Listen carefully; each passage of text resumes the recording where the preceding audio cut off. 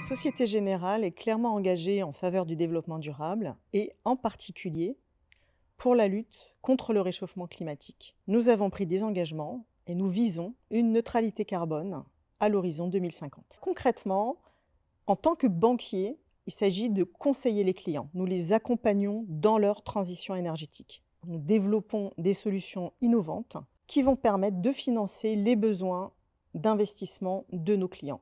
Plus largement, nous sommes un acteur engagé pour la décarbonation de l'économie. Limiter notre propre empreinte carbone, c'est la première chose à faire. Nous avons une trajectoire pour réduire nos propres émissions de carbone de 2019 à 2030 de 50%. Évidemment, le numérique responsable, en particulier le Green IT, ont un rôle primordial à jouer dans cette démarche.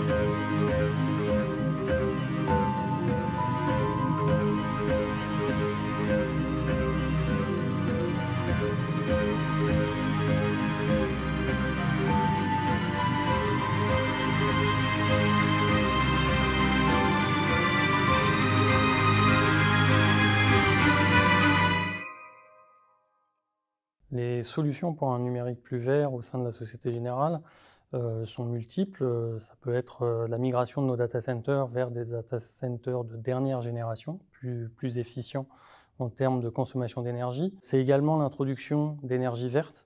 Nous sommes déjà à 100% avec de l'énergie verte en France et nous essayons de, généraliser ça à l'international. Et enfin, c'est également faire attention au poids de la fabrication des équipements. Les autres solutions pour des services numériques plus verts passent par euh, la définition de pratiques et d'outils RSE pour les métiers de chef de projet et d'architecture. Également la sensibilisation de nos équipes euh, IT au challenge du numérique responsable, à l'éco-conception et à l'e-accessibilité. Enfin, euh, ça passe également par la mesure, mesurer l'impact de notre digital, euh, des émissions de CO2, et de regarder également le poids de nos actions et donc le résultat de, cette, de cette diminution d'émissions de CO2.